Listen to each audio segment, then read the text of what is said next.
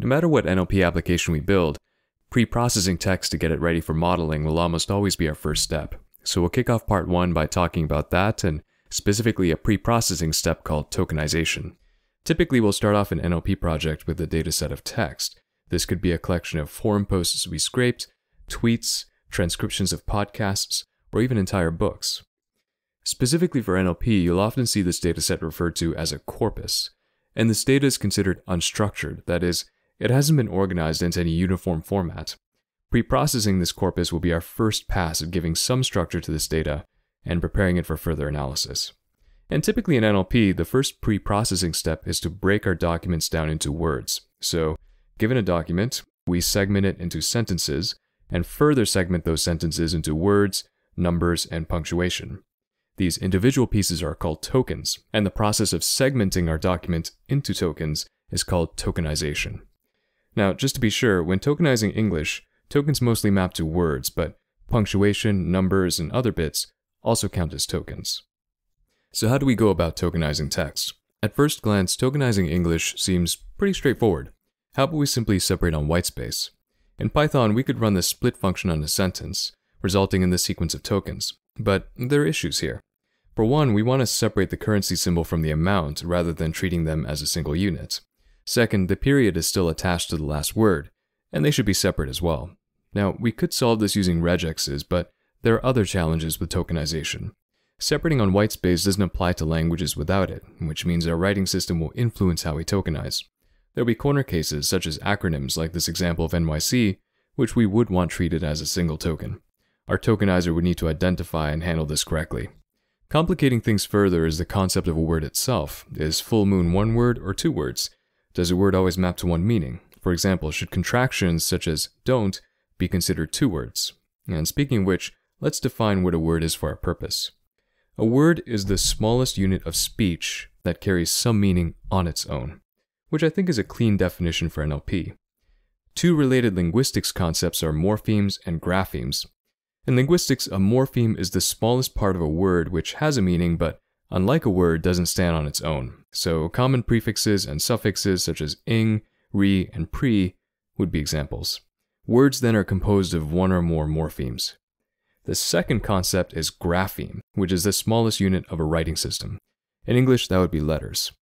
There are NLP models which operate on individual characters rather than words, and have proven to be effective.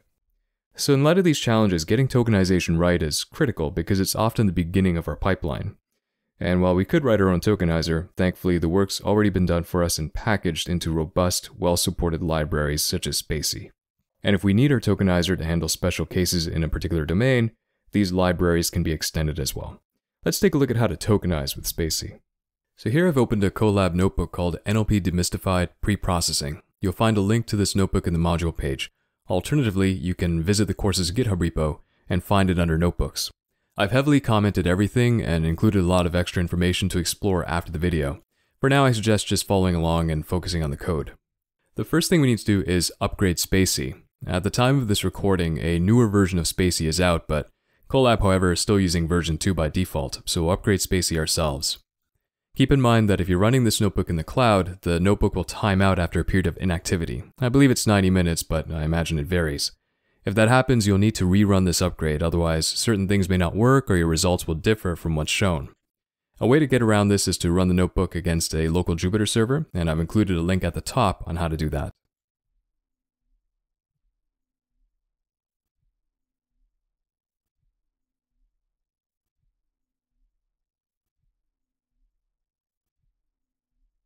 Alright, so next we'll make sure the upgrade succeeded.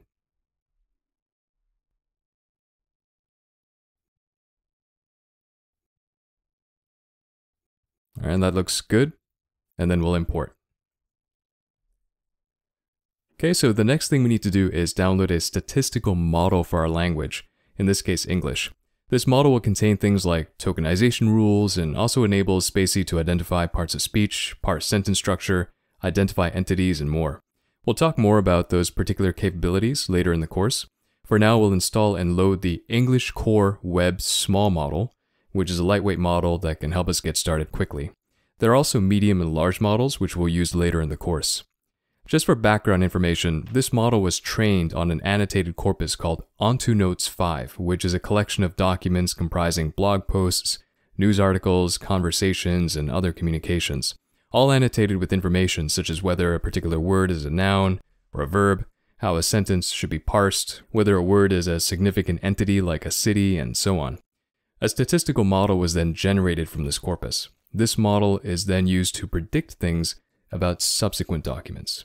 If you're familiar with this idea, that's great. If not, don't worry. This will make more sense as we progress in the course.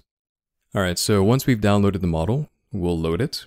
And if you want to learn more about what other models spaCy offers, you can check out the links in the text cells which provide a list of available models and talk a bit about their architecture. As you become more comfortable with the material in this course, I recommend you revisit these links to get an idea of what spaCy is doing under the hood. Alright, so we've loaded the spaCy library and an appropriate statistical model, and we can now reference this model through this NLP object here.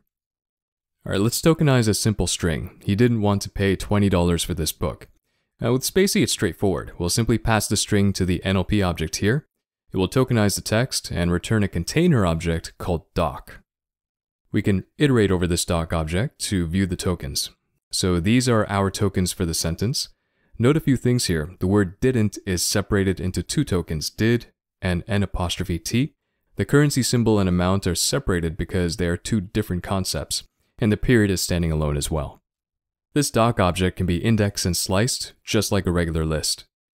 A moment earlier, I said the doc object is a container object. That's because it contains a collection of other objects, namely tokens and spans. So if we index into the doc object, we get a single token object. This token object offers an API to retrieve a bunch of token attributes, which we'll cover. Slicing a doc object returns a span object for when we want to work with a particular section of text. And for a given token, we can also locate its index position in the doc through the i attribute. One thing to note here is that spaCy's tokenization is non-destructive. This means the original input should always be retrievable. We aren't restricted to tokenizing only individual sentences, we can tokenize paragraphs or entire documents as well. So here we'll tokenize some text comprising two sentences, and we can iterate through the sentences themselves using the doc's sents property. Each sentence then is a span object. Alright, so that's tokenization with spaCy. Getting started is pretty straightforward and convenient, but we're just scratching the surface of what's available to us. These token objects themselves carry a lot of information which we'll cover next, and in part 2, we'll explore other tokenizers for specific models. Until then, I encourage you to do these exercises here to get more familiar with spaCy basics, and maybe also try other libraries, such as NLTK. So once we've tokenized our corpus, what's next? From here, we can add additional pre-processing steps as needed. Indeed, a good way to look at pre-processing is as a pipeline, where tokenization is just one step, and where we add additional steps depending on what we want to do. On that note, let's explore a few more common pre-processing steps in the next video.